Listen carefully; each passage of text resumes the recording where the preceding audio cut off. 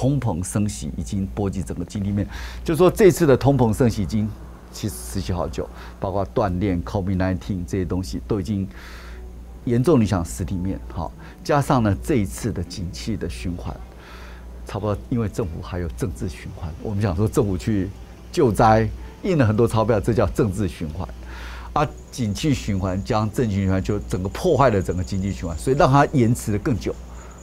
所以我们通常景气循环就说每四年有一个 cycle。今年景气不好，所以大家呢东西变便宜。那变便宜的话，你就出口容易。啊，等到你开始景气好的时候，你开始发觉，哎，工资也变贵了，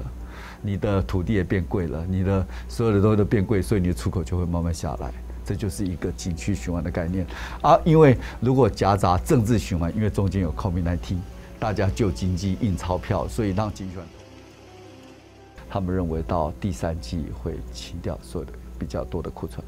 但是库存清完以后，你还有新的需求进来。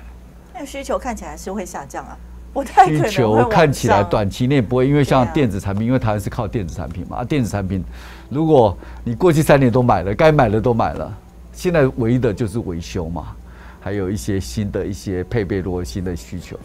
所以最近 iPhone 不是也卖的不好，因为这种消费性经济不好，消费性电子。消费性的东西能省就省，而且利率尤其像美国已经这么高的时候，他们就更不可能借钱出来消费，所以他们的消费力道也会更弱。对，而且需求其实很。而且你你你看，你房贷利率率，如果说美国现在五趴，那房贷率可能就已经到八九趴了。你看你那个你每个月的房贷支出，而且每以前像我我的年代，你要存十年的就可以买房子，现在可能要存二三十年，可能还不止。假设你买一个房子一千五百万，那那假设你投几万要五百万好了，那你要存五百万，你看两个家两个夫妻如果赚十万，存五万，五万一个月六十万，那也要八年，但是那只是投机款而已。所以现在年轻人，然后现在房子又越来越贵，啊啊，所以所以年轻人就觉得说，我再怎么努力，我也是在。这个巴特莫的父权，就食物链的下面，然后遥不可攀，所以他就干脆不要努力，就是不，全世界不管是日本、台湾还有大陆都有这种同样的现象，就是说，所以我们因为美元现在就是这个世界在动乱嘛，动乱就要避险嘛，避险的话第一个考虑就是美元，不然就是黄金。而现在黄金为什么比较弱？因为黄金美金现在升到三点多，黄金最大缺点就是没有利息。通常是美金跟黄美元跟黄金是有点跷跷板，通常美元强的时候，黄金就就弱啊。为什么以前黄金强？黄金跟美金都是零利率，美金已经涨到三点多了，所以避险效应加上升息，所以让全世界钱都慢慢跑到美国，所以美国升得很快。好，所以这个时候就是先不要碰黄金，不是一个好的时机点。就是美元可能强势到明年一二季，但是美元可不可以？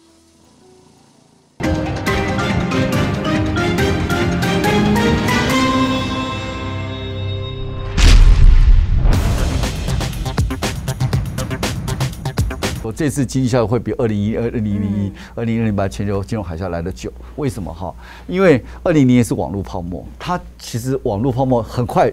就影响到科技部门，然后股市跌，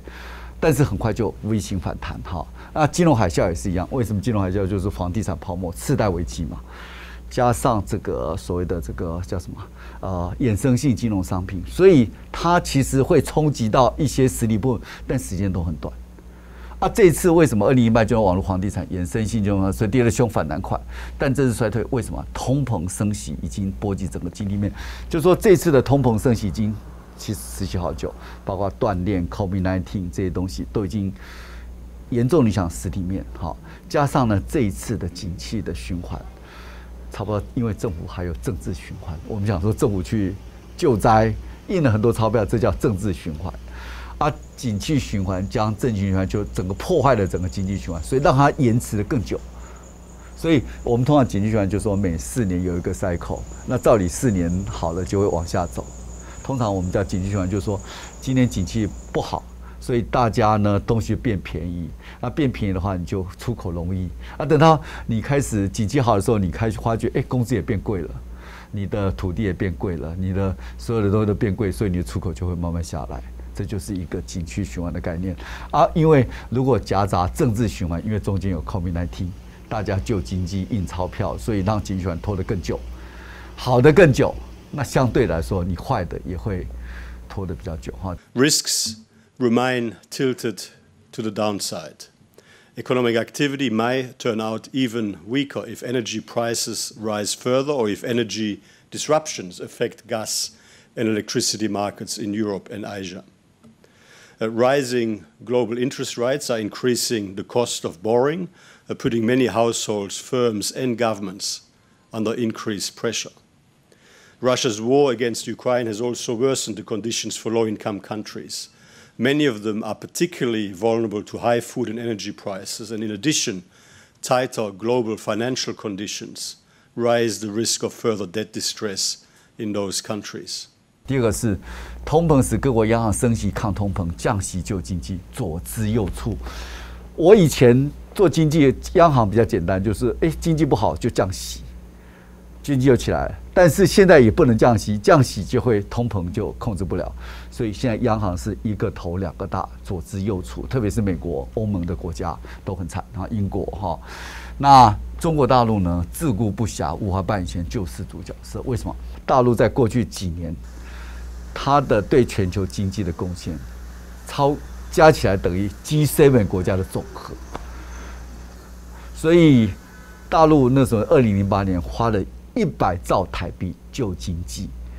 那当然对大陆经济救起来也会有一些外溢效应嘛。啊，中国大陆现在自己自顾不暇。它的房地产泡沫、限电危机跟这个清零，那自顾不暇，已经没有办法能力用那么大的，而且大大陆的债务占 GDP 也差不多，可能过去一百四，现在到将近三百左右，对他来说也是一个很大的挑战。所以呢，自顾不暇，没有像一半救世角色，那当然就没有全世界外溢效应。那没有外溢效应的话，那世界就会拖得更久，因为美国。美国没有像中国大陆那么大的财政支出。美国以前是靠降息，那现在美国也不能降息，所以美国跟中国都不能扮演全球救世主的角色。一个靠货币，一个是靠财政支出。所以老师觉得会拖多久呢？会拖，可能就是一个会 cycle，可能会一个比较不是 U V 型环的，是比较像 U 型，要打一下底再上来，但是不会像那种一下就跌那么深。所以它可能会拖的比较有点像 U 型，打一下底再上来。Real household incomes across many countries have weakened despite the support measures that many governments have been rolling out, mainly in response to high energy prices. Consequently, the economic outlook that Alvaro and I are presenting today is fairly downbeat. We project global GDP to slow from 3.1% in 2022 to 2.2% in 2023. Uh, that is GDP growth uh, well below the rate foreseen prior to the start of the war. In 2024, global growth is projected to rebound uh, to a relatively modest 2.7%. 所以，二零二三已经确定不会好了，因为如果全世界都看起来不好，都不好。然后，而且过去可能是呃某一些区域范围外溢出来，这一次是全球一起，所以明年一定不会好。可是后年看起来要反转的几率其实也不太高，因为我看联准会是暗示说二零二四要开始降息，所以代表说他们预测其实状况不太好。对对，所以那时候降息来救经济。对啊，所以可能会二零二，所以会拖。你看嘛，如果经济循环是四年一个 cycle。那这次如果说因为好了六年，那你可能会稍微休息一下。不然有人有电子业认为说最好的情况是二三季，电子业是认为二三季。不过这个产业的景气不太一样，跟整个经济的景气不一样。他们有认为说二到三季就会把库存清掉，但是库存清理掉以后，你还有新的需求啊。就是库存只是供给面减少，不代表需求面增加。所以可能会比想象中久，因为昨天有碰到一些电子业老板，他们就说他们认为到第三季会清掉所有的比较多的库存，但是库存清完以后，你还有新的需求进来，那需求看起来是会下降啊。需求看起来短期内不会，因为像电子产品，因为台湾是靠电子产品嘛，啊电子产品，如果你过去三年都买了，该买的都买了，现在唯一的就是维修嘛，还有一些新的一些配备，如果新的需求，所以最近 iPhone 不是也卖的不好，因为这种消费性经济不好，消费性电子，消费性的东西能省就省。而且利率，尤其像美国已经这么高的时候，他们就更不可能借钱出来消费，所以他们的消费力道也会更弱。对，而且需求其实很，而且你你你看，你房贷利率率，如果说美国现在五趴，那房贷率可能就已经到八九趴了。你看你那个你每个月的房贷支出，而且美国人美国人按按房贷房屋增加，你看租金会不会增加？你房贷支出增加，你会不会要求？如果说你是出租，你会不会要求更高的租金？而且美国人的习惯是，他们很买很多东西都是用贷款的，对不像台湾是先存了钱，然后我再去买什么。那的消费贷款利率更高。对，所以美国会会其实会有一点，第一个房贷支出增加，会限制到你的一些消费能力。The combination of high interest rates um, and still a lot of uncertainty about inflation means that people are putting off buying, um, and I think it's going to go on for a while. But I think at this point, we're looking for that correction in the market, and it's happening. You know, with interest rates currently being at 7%, um, it, it really is, is, I think, a shock to some buyers. 那美国以前就是，如果房地产还在增加，现在房地产在跌。如果美国人是这样子，房地产增加，你增加的部分，事实上你还可以再去银行抵押，再借钱出来消费。所以美国人是这样子，就说先买个小房子， 等到结婚买个大房子，好，那那等那生小孩子再买个大房子，那我房房子呢，等到小孩子开始长大出去以后，就把大房子换成小中房子，中房子就有一些钱出来。那等等这个小孩子两个夫妻了，就卖到那个 condominium，就是那种公寓，公寓好，或是甚至到老人院，那这些钱就就又出来。所以美国人的 cycle 是有点是像这样子。那所以美国人不用太储蓄。他们也没有这个概念，好像是亚洲人比较有储蓄的概念。但是我们也不好，所以我就讲说，台湾现在我们我不知道那天听听那个《战国策》的董事长叫吴春成，哈，这个董事长他就写了一本《壮世代》的书。他说什么叫壮世代？就是五十五岁到六十岁，因为以前我们平均余命大概一二三十年，大概只有六十几岁嘛，现在到八十几岁。然后这时候你六十五岁就退休的话，感觉上就是哦，这退休就好像这辈子 差不多快结束了。感觉上就是说你对你的经历、你的这个一些想象都没有没有它，那你还被房子绑住。那如果说他说，哎，那我们很简单啊，我们就就说我们鼓励这个开始有 fashion，比如说我今天房子，比如说假设六百万，然后涨到两千万，那我可不可以拿这个房子去抵押借款，借款出来，比如说借个八百万出来，那我就过得很好啊，我就过得好，我可以做一些 fashion，可以做一些时尚，然后消费特辑啊。如果说社会也开始关注这些人，啊，这些人可以一方面生产，可以当顾问。好，那如果消费的话，就可以特别的消费族群，特别的购物节，好，特别的餐厅，特别的音乐，啊，这个东西他就八百万，他就预算很大了。那小孩子呢？小孩子就是你，你将来贷款两千万的房子，你你有负债八百万吗？啊，这个这些人也可以每个月，就是这些壮士贷可以每个月还一点钱。那但可不说你到最后死的时候还有四百万的贷款，让小孩子有一个两千万的贷款，两千万的房子，但是他有四百万，但给你有点责任感。不会说，因为你通常如果说这个品牌哇，就拿了一个两千万房子，那你就不用努力了。啊，我给你有点责任感，有一点责任感，然后我我那爸妈有一点额外，因为你你就是如果说都不劳而获，你就很简单啊。但是我有责任感，我还去做点事，有点责任感，然后我不会很快就把房子卖了。那爸妈有这个八百万，是不是可以消费？如果说我这房子死在那里就没有活化，啊，如果活化资产，你可以爸爸，你看我今天可以度假、消费、创造这，然后可以帮助年轻人，可以做顾问，啊，这个社会是不是活化？你至少把这两千万的房子，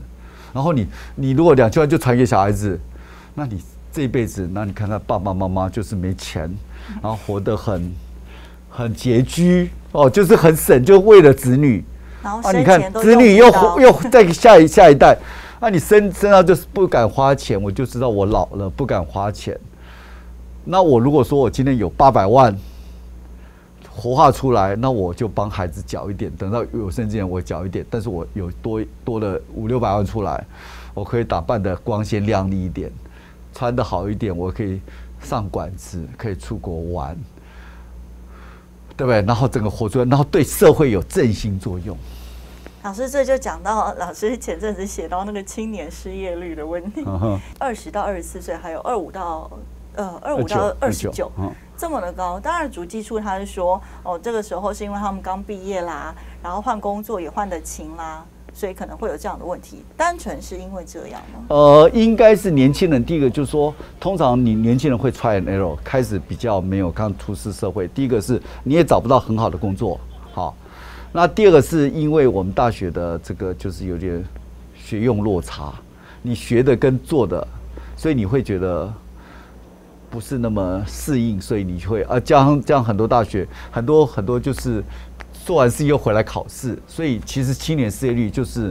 青年比较还没有定性，所以那时候的二十到三岁，其实你在 try try and error，你试试看什么样的情况比较好。什么样的行业比较适合？所以很多年轻人就是走走停停，然后可能又比如说我上班以后觉得，哎，那我来考试好。很多人在考公务员考试，所以这里面全世界的青年失业率都比一般的失业率高个两到二点五到三倍，这是很正常的。这是全世界大概都是这样子。就是说，因为年轻族群就是第一个是还在 try try，然后他不断的换工作，或者是家里有父母。照顾，然后所以通常国家就是，然后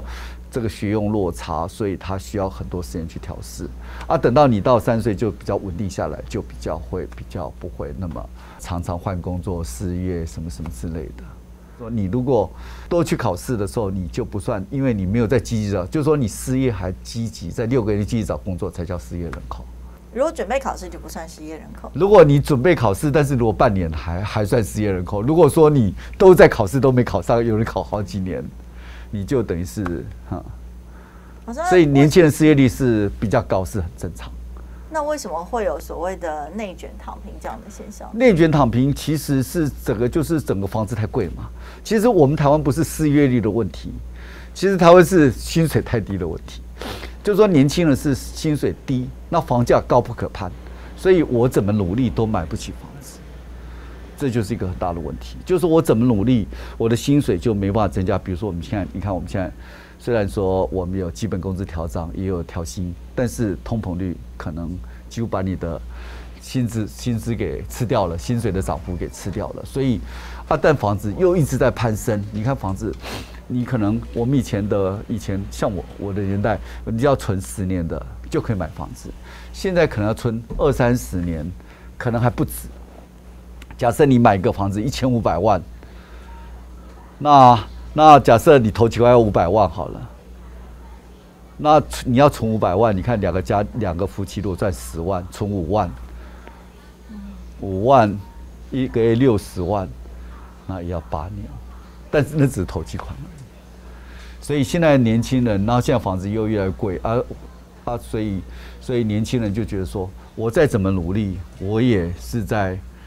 这个巴腾堡的富券，就食物链的下面，然后遥不可攀，所以他就干脆不要努力，就是不全世界，不管是日本、台湾还有大陆，都有这种同样的现象，就是说，所以我们要给年轻的一些舞台，你怎么样让他这个。提升薪水，那房子呢？我觉得政府应该有很大责任。房子是一个公共财，不能完全当做一个交易工具。我上次就想说，香港就是最大的失败，就是让房子、医疗、教育完全成为私有财，让体能社会市场机能运作。有三件事是绝对是公共财：医疗。医疗是人生命的。第二个，住宅安居乐业。第三个就是所谓的这个教育。每个人，你看日美国为什么很难去世代很难移转，很难脱贫？因为美国教育费太贵了。一个蓝领阶级，你看美国常春藤盟校，或者是说比较私立大学，不要说常春藤私立大学，可能一年的学费可能八九万美金。你看一个劳工阶级一年的薪水就只有八九万，那我怎么我把所有的薪水给孩子念大学就没了？所以美国人就是小孩子，除非很认真，然后去助学贷款，不然一般没办法念到那么好的私立大学。但是美国就是这种学历也会世袭，你要念到长春的名校，你可能高中要念前二十大私立大私立高中，但这学费也都很贵，所以就是等于是你要先买好门票，高中生你才会到这个学校啊。这个学校以后将来薪水就是，比如说常春名校出来就是二十万美金，将来更高阶有五十万、一百万美金的，然后他有这么多钱，他就会让孩子念更好的学校，变成世袭。但是蓝领阶级，然后他们又设计一些 FinTech，比如说现在金融科技，然后用这个大数据来取代取代这个一些征信的，所以征信的人就不见了，所以中产阶级也慢慢在萎缩。所以美国就是说现在现在就是我那时候念了一本书，叫《精英精英阶级的制制度的陷落》，所以就说美国要让中产阶级这些蓝领阶级又回到经济的核心，不过很难。所以这就告诉你说，全世界慢慢就形成这种现象。所以我觉得房子、教育、医疗都是一个公共财。像比如说我们政府怎么做？比如说我政府的这个地价税、房屋税，比如说有一些税，我就可以拨出一部分经费出来，然后呢，加上这种的预算，可以做一些，比如说一些基金。定期的基金就是做做来做社会住宅或者补贴青年房租的一些基金，然后甚至可以去捐募。我就说，如果只要一些比较有钱的人，然后你会对你为下一代着想，那我就是政府拨了一笔钱，政府的预算加上一些比如说一些有钱人的一些贷款，甚至当然大陆讲说共同富裕，我觉得适度的开放一些乐捐。来 offset 你的一些东西，那我这样子就会有一个租住的经验，因为这世代的公平嘛。那你把房子炒那么高，所以我们如果说可以做一些社会责任，你来跟讲说，哎呦，我来抖那一些钱，比如说三分之一、三分之一三分之一，我就有这笔钱基金固定。我们现在是政府说啊，我现在来见面，那变了一笔钱，但是你没有个固定，让年轻人看到未来。我今天变社会住宅的钱，做这个。这个什么一些租租的津贴，甚至我可以补助你交通费用。你你住远一点，我就补助你交通费用。啊，这样子的话，年轻人才会有希望。你如果没有希望，你当然躺平了。我看不到未来，我当然躺平。如果说你告诉年轻人说啊，你怎么做？你怎么做？你怎么做？你会有得到什么东西？我们现在就是没有很大的愿景，没有很大的目标，所以你年轻人觉得说哦，我一辈子看不到未来，那我就就要躺平了。但是如果说你告诉你说你怎么做，你怎么做，你怎么做，我现在帮你做了什么东西，有什么舞台，你做了以后，你可以达到目标，或许年轻人会改改善一部分人的一些观念。二零二一年二月播出的《全球震惊周报》是中天财经频道制作的节目，每周六日晚上六点呢，除了在中天电视之外，也会在这个中天财经频道是同步播出的。那我们从十一月开始有个马凯小教室的单元，都是把观众想要知道的答案。特地制作出来，放在中天财经频道里头播出，只有在这里才看得到哦。而如果大家想要掌握这个最新的讯息的话，可以到中天财经频道里头订阅、按赞、分享、开启小铃铛，就能够收到最新、最完整的资讯。老师，可是现在时代要学习东西，其实比我们过去都还要更容易，那个管道其实更多，不是吗？对啊，啊，但是要有学习的动机，就是说，有的人。就是学，因为现在行业哈，就是说学习的动机也很重要了。就是你要有那个环境啊。如果说这个社会每个人学习动机都很强，就有 peer pressure 啊。如果大家都躺平，那你就没有这个反正大家你又跟你一样，就就你你也这样，我也这样，那大家都一样，就没有那种压力啊。这社会就说越来越多人比较 aggressive，你就会对社会产生同在压力。如果越来越多人躺平，那你就想说，哎，我跟他一样就好了啊。所以我们要有给年轻人一点梦想。一点愿景，然后你有实际的行动，才会有机会。那要怎么翻转那个社会氛围呢？翻转社会氛围啊，就是你要让怎么样让它变成是积极性的呢？积极性，我觉得就政府开始有一些配套出来，比如说从县市政府开始有一些配套出来，我讲说地价税、房屋税这些东西，然后你可以就就说我我想说帮你做社会住宅，帮你做什么东西，帮你做什么东西。好，通常我们这个台湾也是一样，就是这什么，就是上位的人会带动这种风潮，什么风行草偃，好，上行下效。如果上面的人会有这种正视，然后我会告诉你说，我帮年轻人补一个舞台，当然后你找一些有钱人去来做捐助，这不是不是，因为很多人几百亿，我捐个几亿根本就很简单啊。政府要不要做？你如果好的规划，然后去诉诸于情，然后这些。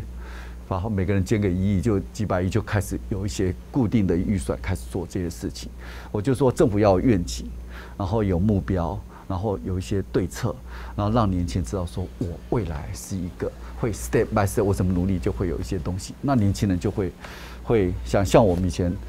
没有太多的，就是大学毕业就说哦，赶快念个出国到美国考试，就会到美国念书，就会有一个好的前途。你就就是。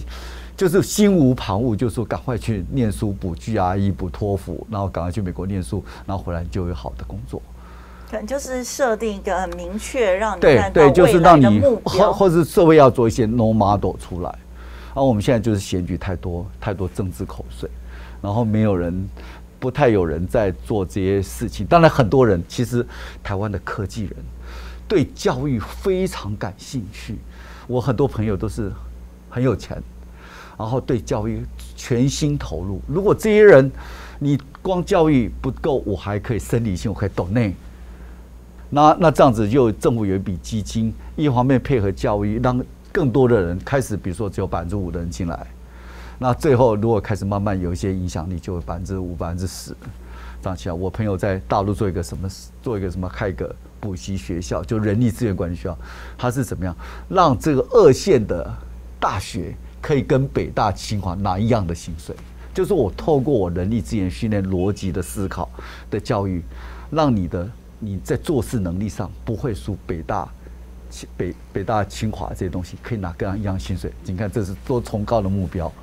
因为我觉得关键还是在于低薪啦，就是大家会觉得说我做这么辛苦，我还是拿这么低的薪水。然后我看最主要失业率最多的呃学历的程度就是大学。所以让我们大学太多，然后我念那个大学混出来，我看不到目标，我也不知道未来要做什么，然后我到最后也没有学到任何东西，我就是做低薪的。就需要需要落差，对，就是台湾现在最大问题就是为什么低薪？百分之九十的高中生念大学，大学生百分之九十到服务业去，服务业没有高薪的工作机会，没有太多了，不是说没有，服务业高薪，我上我上好像上次来有讲过，服务业高薪只有三种，寡占垄断。还有这个证照的行业，比如说医师、律师、会计师、国考、台电、中油、中华电信这些东西。第一个，第二个就是有国际化能力，比如说八十度可以走出去，顶泰丰有光刻进来啊，这个都是会比较高兴的。第三个就是有制造科技含量的服务业，资讯服务业、通讯服务业、FinTech 这个东西有科技的。所以呢，一个东西你造一个行业，没有进入障碍的行业，就是低薪的行业，每个人都可以进来。像餐饮服务这些东西，就是说，除非你有特别的技巧，像吴宝川，像这个可以开重点锁店，不然薪水都比较低。所以政府要这么做？政府就是要让这些服务业可以做这个加值的行为。就是说，很多人讲说台湾市场很小，但是如果你商业模式改变，你可以有资金进来，你是不是可以升级？比如说，我我我常常在讲说，台湾长照，我们现在都是小小的、破破碎碎的。只要护士跟一些外劳就好。如果我可以做一些五星级，每个城市做一个五星级的五星级的养老院，然后我但是我保留十个 percent 要给照顾当地弱势族群，然后这样子我就可以引进很多，比如说松绑，将卫福部松绑产业化，让保险资金可以进来。啊，进来以后，他就会开始开始个，比如说我就需要一些医材、医疗器材、一些辅具。养生餐，老人也需要投资，然后老人也需要很多这个一些照顾陪伴商机、宠物商机啊，这时候就会带动很多的新的机会出来，然后甚至呢，有一些比较健康老人，我还可以配备你游览车、护士，每每一个礼拜带你出去哪里逛一圈回来，当然啊，这样子就会带动旅游业，甚至 shopping，因为有些人。是是什么？不是真正躺在床上的，有一些都还是很很很有身体。那只要有护士、医生陪着你坐游览车，你看带动游览车到这个北海岸一日游，甚至可以到哪里去？好，那那你哎呀可以去，因为这些人有壮世代的资产是所有人资产的七十 percent。啊，你你看这些这些人有钱有闲，如果你有好的交通工具，有好的配套，你会不会做很多事情？啊，这样是带动观光，这就是要活化。台湾一直在讲技术创新，但是我们思维制度创新，所以我现在只要在卫部，因为卫部就把这些管，我在卫部说，你每一年都要某一个地区给我设一个五星级的长照机构，把保险资金带进来，就是要给各同各各部会一点 KPI 不同的产业化任务，因为现在产业化只有经济部，但是其他服务业没有，但是服务业。占了六成的就业人口，你怎么可以不产业化呢？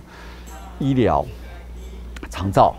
你你看，如果说这样可以活化，就可以带动很多的商机，鼓励这些人出来消费啊，这样子。像这个双语教育，我们教育也是很便宜。如果我可以鼓励外国人来念书，那我们跟哈佛合作，在台湾设一个据点，然后各国人都可以来念，那会不会创造很多营收啊？慢慢的开始就有多，当然，因为学校担心说。这个会被抢的工作机会，但是被那自然淘汰了。那这个国际医疗、杜更、资产管理，我们现在资产的钱，我们有三十兆的保险资金，全部跑到香港、新加坡去投十七兆。啊，如果这些钱可以引进来，我们假设我给金管会一个任务，就说每年要多少金融商品，要创造多少的这个资产管理的一些任务，那你就会开始会，那你看如果资产管理。就会多少理专出来，多少这些人出来，这些都高阶就业机会，就是要有一些思维。那这样子，就是说我们市场不够大，但是你精进商业模式也会创造很多高阶人力需求。这样年轻人就是说，你拼命的造造就这么多大学生，但是你的、你的、你的服务业水准在这里，我根本就不需要啊，不需要这些人呐。你只有你产业升级开始 match。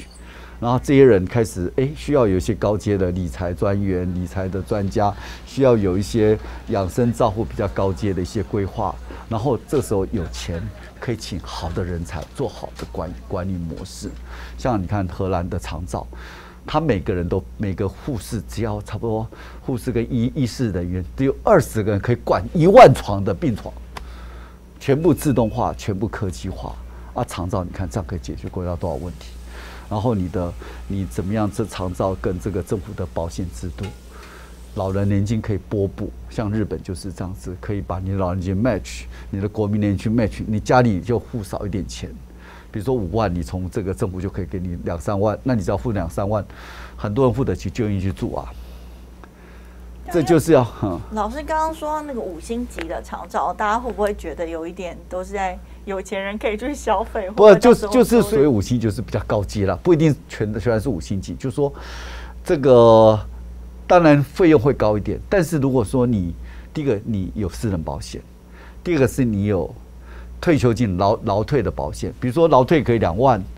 那你的这个什么，比如说还有什么一些私人保险有两万，那你家属只要再出个两三万，其实如果一个月住七万也还好。因为我想说到时候万一我们又开放。希望把这个市场做大，我们又开放给呃外国，例如说日本人也可以来，那又会去占到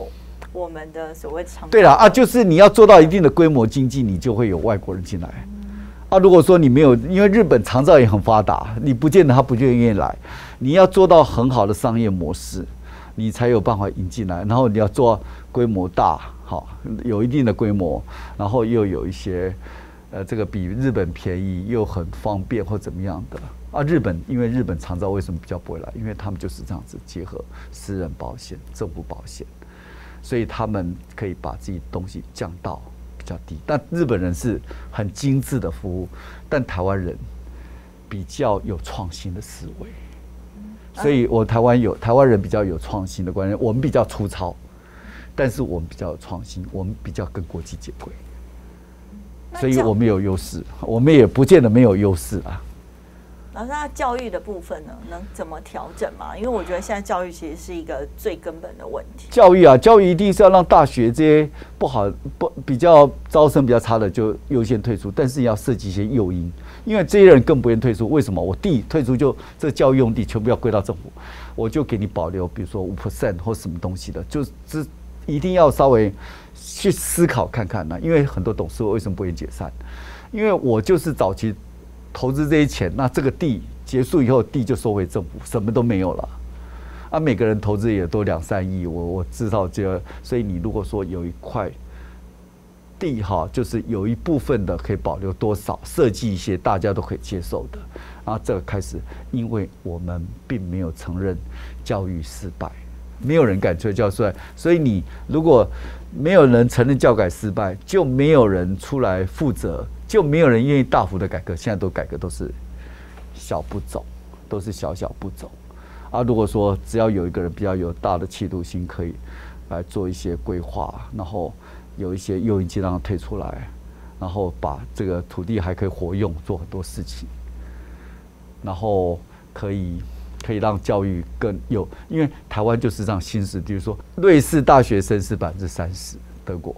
所以百分之三十的薪水很高，其他人做技术工人做什么也薪水很高，他台湾是百分之九十人都去念大学。啊，当当然这块就薪啊，百分之大学又百分之九十又去到服务业，所以当服务业薪水就很低。然后现在很大的问题是，很多大学的或者是社会人士，然后又去念了没有用的硕士，然后又写了很多复制贴上的，所以现在就是硕士真的变得，所以就是说壮世代人可以帮忙，就是说国外都有什么就生涯规划师，告诉你说你选什么样的科系，你要出国，你要考什么证照。你怎么样修什么课？你什么样证照可以拿多少钱？啊，你就会有一些人就知道说，每个学校如果说有几个，那你可以咨询，就是我我知道我的生涯规划，我 road map 是什么，他就有可以咨询。现在很多年轻人都是没有人可以咨询，都到处到问学长什么，那最后只好跑到洗练工找最最最那个最初期的生涯规划师，就是算命的，告诉你我该不该出国。我该该考什么行业，该什么东西，所以就这样子。所以如果有制度化，那有一些，因为台湾其实开始有生涯规划师，就是跟国外合作，怎么样告诉年轻年轻人要修什么课啊？如果更普及，学校都有，那年轻人就开始有准训。不过这个有个缺点，如果每个人都跑到那个 这地方就挤爆了。我那个小儿子啊，他在高中的时候其实是会有那个他们的。就是会老师跟他对谈，然后分析说：“哎，你未来想要做什么？做什么？对了，对啊，这个就是要，可是但是老师没有专业，对，就是说老师不是这个专业，就是说你是要训练过的，叫生涯规划师，就是说你对外面的环境了解。老师只是在我自己职场，我就给你咨询的角色，但是他不是 professional 的 advice，他不能告诉你说世界的趋势是怎么一回事，修什么课，有什么证照是。”可以拿多少薪水？然后你要修什么？你要当精算师要考哪些课？要做什么事？你薪水差不多可以多少？比如说美国精算师动不动就是十万美金以上，对吧？早期，那那你如果说，哎，我要修什么课？我要考统计出统，好，你要考会计师，你要考什么事？那你这样子的话，年轻人就觉得，哎，我开始有努力目标啊，不然就是在在那个啊，像早期如果知道说念经济的薪水不高，我们就不要念经济了。就开始念工，因为早期就是因为我本来是念工科的，像我同学在台积电，现在薪水都很高，都已经退休了。那我们现在还在这辛苦。早期如果知道经济没有什么太多的这个这个优势的话，你就会选择不能。可如果搞清楚说，哎，千万不要念念经济，可以念财务，可以念会计，或是可以到工程，不然就是坚持一定要念医生。像我弟弟，也就是医生，他们这个早期你知道吗？他们说早期那时候医疗还没有管制的时候，就没有那种总量管制的时候，一天有一百个病人，你一个月就可以赚一百万，你一年就可以赚一千两百万。啊，虽然不是每个人都有办法念。对了对了啊，但是我们但是就执着啊，不然就是工科也很多啊。现在工科很多啊，像台积电要了很多工程师啊。他以前从台城请教，现在到云科大、湖尾科大，到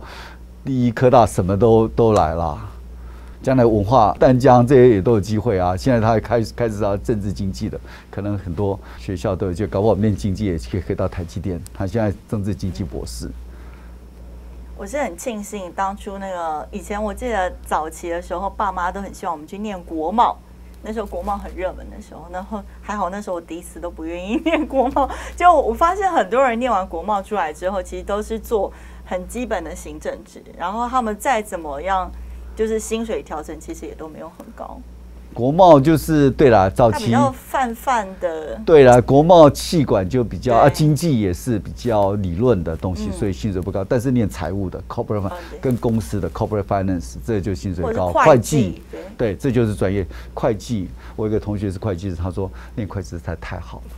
就是就是一个很好的专业，只是很辛苦，一开始很辛苦，但是会计的专业就就很那通通常国家是这样子啊，通一开始是工程人才，后来开始要贸易嘛，国贸易气管，啊，最后最需要开始人类界限开始泯灭，开始减少以后，就开始会有冲突，就需要法律接人起来。所以变成是呃政府，像老师刚刚说，政府也可以做的，然后个人可能需要政府塑造一个好的愿景的对对对，啊，个人要就是个人要加强自己的差异性嘛。你说语言能力跨领域把自己弄好，然后你的网络做好一点嘛，哈。那这个还有就移动力，就说你如果台湾没有好工作经验，你可以到国外去，那你学的科系、你的语言能力、你的国际的人脉，这都是很重要的。所以就是 differentiation，你跟你的同学的差异化。以前我们是大学生很少，只有百分之二十，所以一百个人，只要二十个人慢慢爬就上来了。现在呢，你现在百分之九十九的大学生，所以你要比别人好，让别人说你有什么特特别。第二个是你的 EQ，你的这个国际网络，你的科系跟国际可以接轨，你才有国际的移动力。啊，移动力的话，你如果说搞不好去混个洋水回来，你还有机会得到比较好的薪水，因为你有国际的一些历练。呃，有观众在问说，为什么美元对其他的主要货币会比较高很多？因为美元啊，为什么会高？美国因为美元现在就是这个世界在动乱嘛，动乱就要避险嘛，避险的话，第一个考虑就是美元，不然就是黄金。而现在黄金为什么比较弱？因为黄金美金现在升到三点多，黄金最大缺就是没有利息。通常是美金跟黄美元跟黄金是有点跷跷板，通常美元强的时候，黄金就就弱。为什么以前黄金强？黄金跟美金都是零利率，美金已经涨到三点多了，所以避险效应加上升息，所以让全世界钱都慢慢跑到美国，所以美国升得很快。所以这个时候就是先不要碰黄金，不是一个好的时机点。就是美元可能强势到明年一二季，但是美元可不可以长期持有？我的答案是，如果在两三年以上，我觉得是 no。为什么？因为一九七年一盎司黄金等于三十五块美元，到了二零二一年一盎司黄金还是一盎司黄金，但是等于是一千八百块美元。所以美元在五十年内呢，事实上是对黄金贬值了五十倍。呃可是未来还会是这个样子？我觉得，因为美国其实内部问题很多，外在这些经济也不是那么好。因为美国避险效应，因为涨太多了，它避险效应结束，升息效应结束，黄金就会慢慢回跌。那这时候，如果通膨的时候，黄金还是一个好的、好的这个标的哈。那像那个台湾房地产的现况跟趋势，那房地产占比 GDP 大概是多少？房地产占 GDP 本来是八点多，现在好像跌到差不多七点五左右。所以房地产其实当然就是因为最近房地产会比较不好，因为也涨太多了哈。台湾房地产就是从科学园区开始涨，涨到再扩散到其他，比如说南科、中科到这种，后来看到其他地方都涨，所以这波涨幅其实蛮大的。但是升息就是一个温水煮青蛙，升息一开始没感觉，但是会慢慢升息多了就会有一些感觉。好，那再来就是因为这个升息以后，让大家觉得说租不如买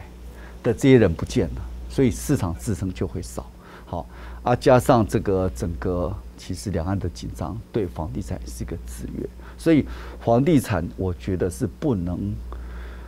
不能是 portfolio investment，就是你的一定的部位，但是不能把所有的钱都压在房地产，跟以前不一样。以前其实有钱人百分之九十都是买房地产致富的，但是现在从两岸的紧张，从这个国际局势的动荡、地缘政治的关系，我觉得房地产只能配置一定的比率，但是不要太高的比例，因为这房不动产就是不动嘛，所以你要买卖的时候都比较困难。如果说两岸的一些紧张，可能让你跌个两三成都有可能。但是房地产要真的大跌不容易，除非说两岸的紧张，就是说，因为这个大建商过去几年赚了很多钱，所以他要让你砍价的机会也少，好，大概 ten percent，加上建材、业原物料都涨，都垫高了，所以，但是小建商你要买还是要买？当然，因为小建商可能会财务会出现问题，因为央行的信用管制让小建商其实资金在周转上有问题，所以现在开始有些小建商，比如说最近有烂尾楼，开始，所以就是要买一些比较好的建商的。那如果你有刚性需求，现在可以晚一点再买哈，因为利息还在升高，然后。房地产应该还会有一点跌幅哈，或是说至少不会涨。那你这时候赶快赚好投期款，万一利息上来，你才不会有很大的贷款压力。因为我看最近房价趋势其实还是有微幅的往上，还没有有一点的，不看地区是掉很多了，就看地区了。好啊，这个像像比如说，因为你如果看均价，你要看地区，因为像竹北啊，这什么台南、高雄这些好没有跌太多，但是有地方已经开始在跌了。好，就是要看这个这个这个情况这样子，所以这时候可以稍微观望一下。好，好。所以老师，那房地产的那个趋势如果不好的话。是不是对我们的经济也会造成会有影响？但是没有像以前那么大。以前房地产是火车头工业嘛，啊，现在各行各业都起来了，房地产的这个它的关联效果就没有像以前那么强。它现在比如说现在大概七点五，你看就像我们的石油，以前在百分之十，现在百百分之三，所以石油对它经济的冲击就没有那么大。现在其实房地产如果扣掉这些中介，扣掉这些服务收入，其实它在经济比重更低。它真正的带动原物料这些东西，其实是。其实没有像以前那么大了，就说以前现在因为当然很多这个中介收入这些服务的相关带物业收入把它垫高了嘛，把它垫垫的好几率比较高。可是如果考虑到产业的关联效果哈，当然这个服务业的从业人员、中介从业人大概有十万人，这些东西就是说如果经济不好，对这些人就会转转转行到也是一个伤害了。对对对啊，所以。房地产没有像以往的产业关联效果那么大啊。